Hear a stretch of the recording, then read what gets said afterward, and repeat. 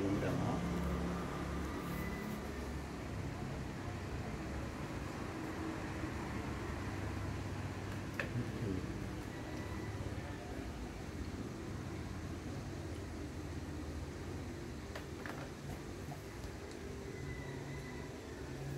làm nó đi rồi.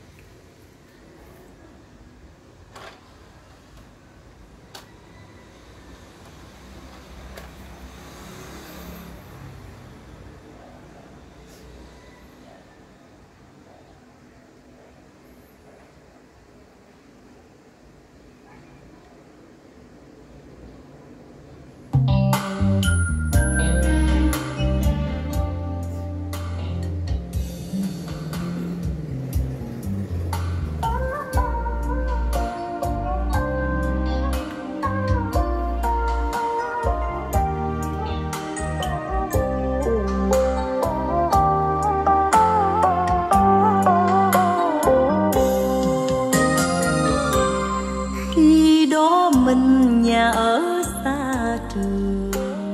Qua mấy nhịp cầu trên, bấm ngón chân chai bờ đất ruộng, con đường trời mưa trơn trơn nên bước chân khó đi về, con đường bờ